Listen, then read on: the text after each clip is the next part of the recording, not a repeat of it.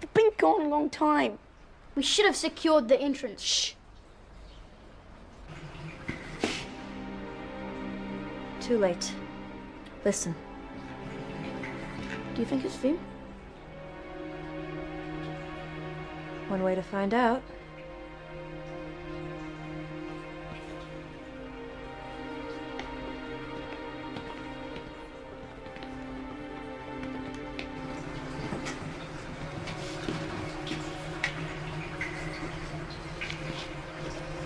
Are you? It's alright. Put down your weapons. I'm a friend.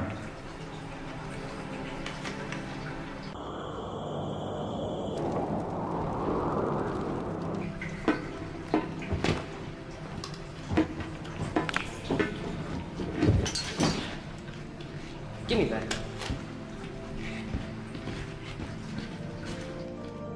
Do it again, Bray. Do it again.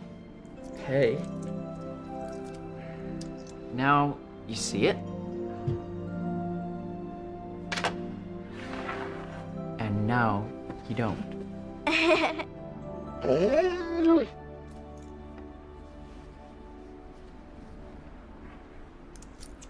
That's one each, and don't spend it all at once.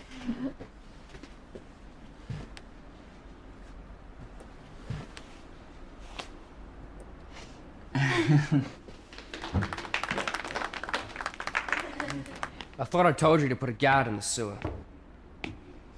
Who's this? Bray. He does tricks. I don't like tricks. Bray. Stop it, Lex. He just wants shelter. Can he speak for himself? We've already got one deaf one here. Bray, are you dumb? I don't shoot my mouth off. You call that dumb? This guy's been hanging around here spying on us. Did he tell you that? That's his trick. Why have you been spying on us? I told him. Had to be sure it was safe here. Safe for what? So you and your tribe can muscle in? I don't have a tribe. And lucky for you. Because we have. That's enough, Lex. I haven't even started. We told you when we let you out of the cage. Our terms. So this guy just shows up, spies on us for a few days, and we welcome him with open arms. What if he's checking it out for the locos? I'm not. Says who? Bray does. And we believe him. Can't be too sure. Too right. We should put him in the cage until we know. He hasn't threatened us or tried to steal from us, Lex. Unlike you. I don't want anything from you. Just shelter for the night. You'll have noticed it's dangerous outside.